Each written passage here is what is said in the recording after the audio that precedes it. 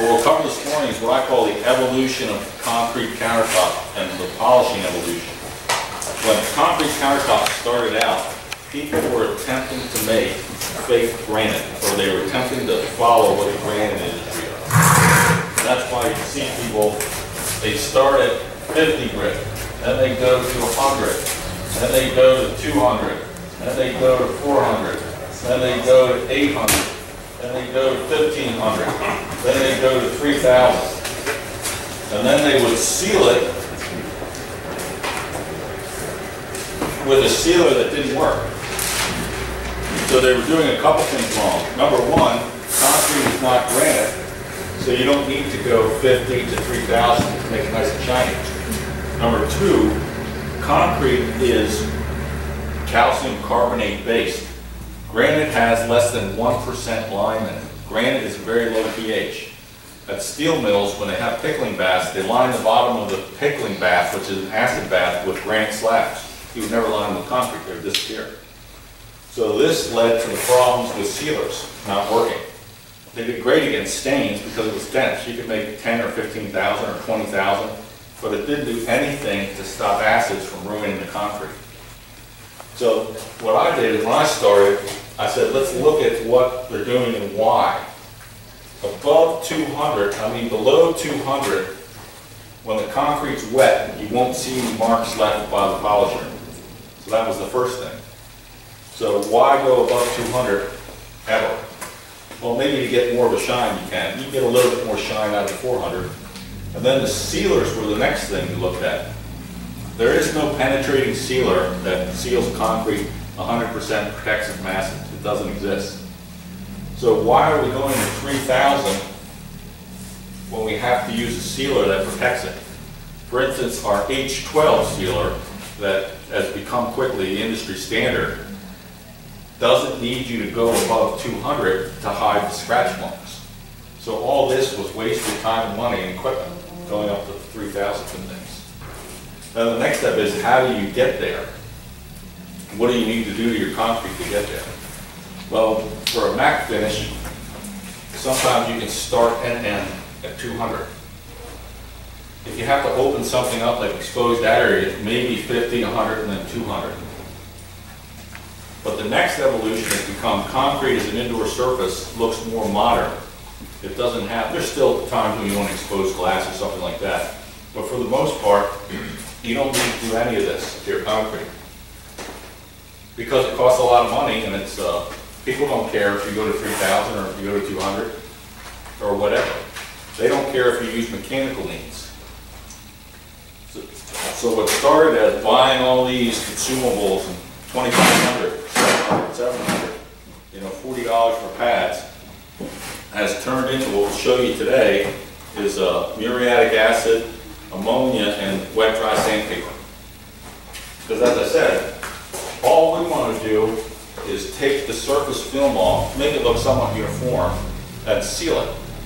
Now, the sealers have got to be nanoparticles, which means they don't they can penetrate almost anything. They have a slight surface film. So rather than use all these, we'll show you today is the surface of our concrete. If we were to try to hand sand this, it would take tremendous effort to get down through and make it look uniform. And that's why, thus, we use the equipment. But if we were to break the surface open with acid, what it'll do is it'll leave the sand grains just a little bit proud. And then if we hand sand this, it'll get the whole finish uniform just with a couple, we'll do that one, just a couple minutes and you're done. Now, that being said, you st still can use all these at certain times. A lot of people have gone to the three-headed uh, rotary polishers like this. Or, this is about 2500 This, everyone needs at least one grinder, either five or seven inch, just for the project you have to polish. These are about 800 Buy a good brand name, buy ones that you can replace the brushes easily, and then put a bag or whatever to protect it, so that water's not over. Now there's different uh, bendability for the pads that go on these. When you're doing an initial cut, and you want everything to be perfectly flat, you use a super rigid one, like these aluminum ones. When you're getting to the point where it's getting done, something with a little bit of flex helps more, like these rubber ones. And then when you're doing the insides of sinks, I don't mind doing them by, by hand if you've got a round part. You cut a pad down, or else they sell three inch holders. Don't throw these pads out when you wear them out because they become flexible. So now you can push and it'll do the inside corners of sinks. That's how I did that one with all the rocks in and everything. And then there's hand pads. These come in different grits, the same way that uh, these do. Now for the edge of the sink, that sink will do today, if there's flaws in it, I would cut it with 60, just to round it out a little bit. Then I'd go to 100, and then 200, and you're done. You could do your whole piece with this, and just take long while, because they're, they're so small. And incidentally, you can buy these from a company online and buy these pads from a company called JannyLink, jannylink.com. The reason Bob and I don't sell these is because they sell them for less than we can buy them for. They're like twelve ninety-five, and they're high quality. They have, a polishing pads for about fifteen dollars. One's made from marble, they work fine. But then rather than buy one of these, if you wanna do a whole bunch of slabs, what I did is I bought a uh, buffer on Craigslist for hundred and twenty-five bucks, and I made my own handle to it. Now, this is a horsepower and a half, and this is, you know, less than a horsepower. So which one's gonna last longer, you know, the big one or the little one? This is probably from the sixties. And then I made my own pad holder on the bottom.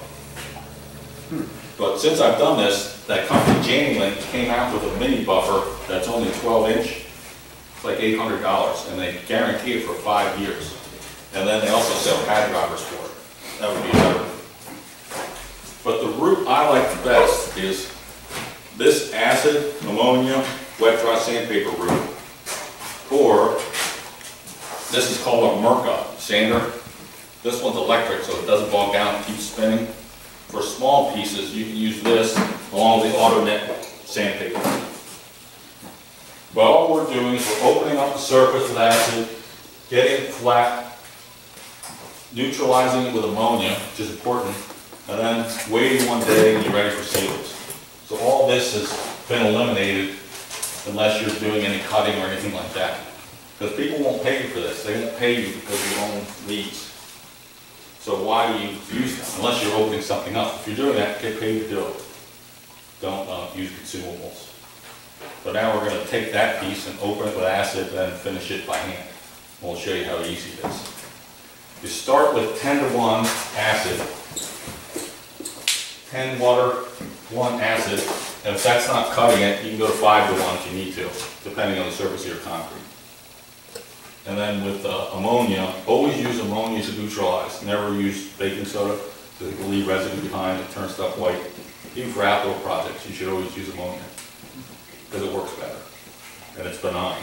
Tell by the look on your face, you've been Oh, down yeah. that road before. Oh, baking soda, we used to always use baking soda.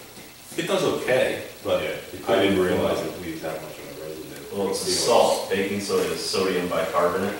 So what happens is it dissolves down into the concrete as the concrete dries, or if it gets wet again, it keeps purging to the top. And it can really cause an issue, With the sealers. the sealer too.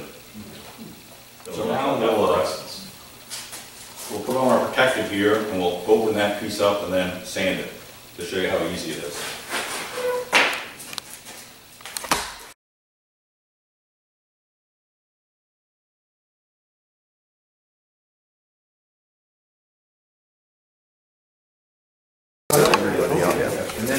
Now, this is ten to one acid, and what happens when you put acid on, always start at the low point, work your way high, because if a drip runs and runs down, it might show up later.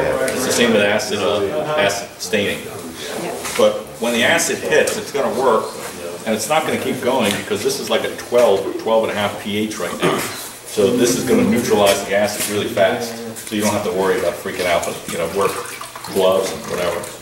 Well, you start low, and acid will take the, uh, will take off the wax. That's muriatic acid. Yep. Ten to one, muriatic.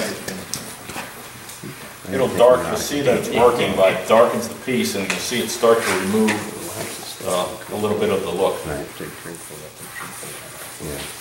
Now, this is where we screwed it up yesterday, remember? Our face- That may never go away.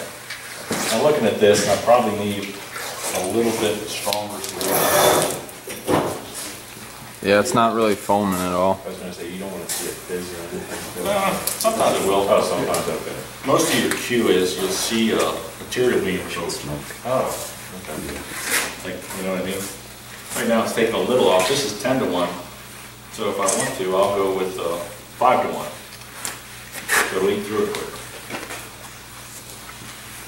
You'll feel it, it's two things, it's look and feel, right now I feel it. It's starting to get a little bit gritty feeling.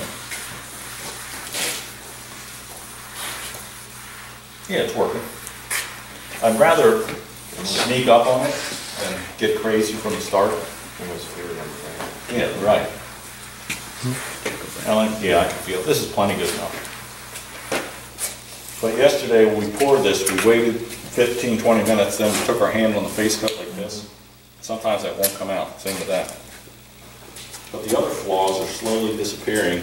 The way it looks now is about the way it's gonna look once you seal it. So if you can see or not see a flaw now, see that, fizz happening now? Because I broke open the, uh, yeah, I broke open that layer. And I put fresh product on, and then it's, uh, it activates. See it? Yeah, right there, that's why I was basically. Yeah. It doesn't happen right away, it's gotta get through that wax layer, but it will take the wax off too, it eats through wax. It's pretty good at eating for anything. But see the way it's kind of starting to look nice, and I can feel it now. Yes, So I, I can hear it. Hear it? I can hear it's different, yeah. But for a class-made uh, project, this thing came out pretty nice. Really saleable if it wasn't for, you know, somebody wrote their name in it. Who is Doug, by the way? He wrote it. See that? Now, we were patient, so now you see the fizz we talked about, white. Because my rag is fresh, with fresh acid, Yeah, uh, see, I was, my piece is open. I was thinking the curve of it. Yeah, see it? See it? You can feel it, you can hear it. Now they're probably basically disturbed the base coat. Plus it needs time to actually mature before it's supposed to look uniform. But, uh, that sample, I don't know who brought the sample, we can make that sample do the same thing we're doing here. Okay, that's good. Yep. I know down here is done. Clean that one with acetone first. Move the wax. See that? For me, I'm done. See the rag starting to get a little gray on it? But that looks pretty damn good to me. What happens is it will break the wax down a little bit. Always keep another bucket in there. Just imagine the acid's on your, And you still have, you keep the ten to one bucket in it. so it's better to use. Uh, You can, it would take it off. And to keep doing that. Yeah, actually, that problem with the No one lifting. has, or It's white off. You can't see the wax. Right. You're not gonna know there's wax on it until after you seal it. Right. Yeah, and then form it after it, and it's wax. It's gonna, it's not gonna work. Yeah, well, cement's soft. Yeah, Yeah, right, I know what you're saying. Some make it does. Doesn't really. It doesn't it, you can touch the sealer. No, it just repels it. Right. So you got this thing. Now I've rinsed the whole thing with water, still not neutralized.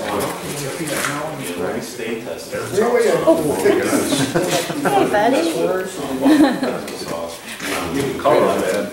That isn't a trowel, that is not a. Squeezing. I Just, just so we're. Now this is ten to one ammonia, Next day, wipe it off. and it will neutralize everything without leaving a film behind.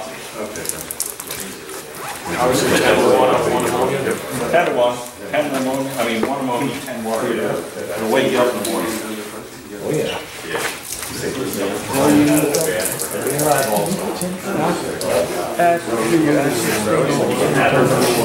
No, that's not it. It's not an acid. You're gonna acid thing, you're gonna acid.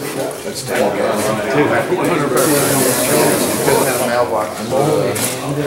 to the. Now, the next step is the, uh, wet dry sandpaper. This costs about a buck fifty a sheet. But all you're doing is you're flouring the sand. So it's really easy to do. Four hundred. It's done.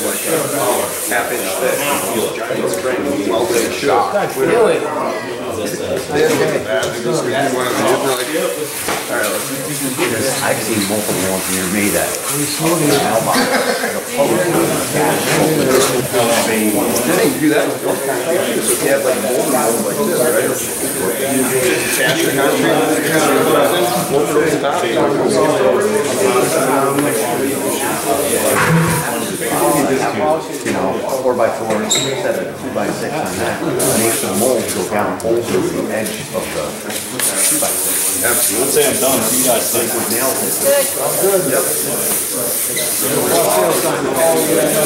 I can't say coffee.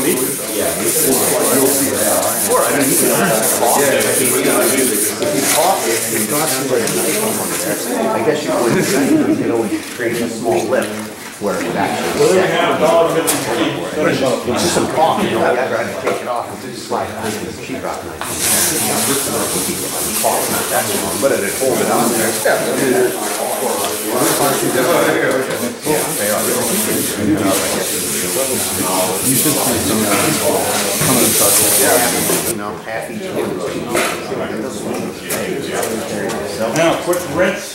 Set it there. Weed whacker. Shit got raised. I bought expensive shit. Something in the winter time, it's all over the place, but found it back down. Now, even though we poured this piece in class, the only true flaws were some did wrote his name in it. And where we scratched off the base coat. And even those would be, those do. You guys put a triangle in it? Very good. Very good.